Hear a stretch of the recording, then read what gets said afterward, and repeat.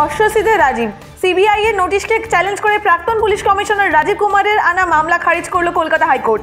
High court CBI lawyer Arindam Mitra এই প্রসঙ্গে বলেন হাইকোর্টের অর্ডার আজ রাত আটটার মধ্যে ইন্টারনেট সার্ভারে পাওয়া যাবে বলে আশা করা যায়।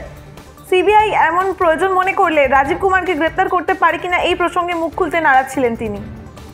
সুবিধা দাদা আজকে অর্ডারটা কি হলো ঠিক অর্ডারটা আপনারা রাত্রি আটটার সময় আশা করছি আপনারা ইন্টারনেটে সার্ভারে পেয়ে যাবেন। The application as we heard in the court that the application filed by the petitioner that is mister Rajiv Kumar was turned down by this honorable high court. And all the interim orders which was passed earlier by these honorable judges of this court was vacated and turned down. যে গ্রেফতারির উপর যে অন্তর্বর্তী স্থগিতাদেশ ছিল সেটা তো আজ থেকে প্রত্যাহার হয়ে গেল।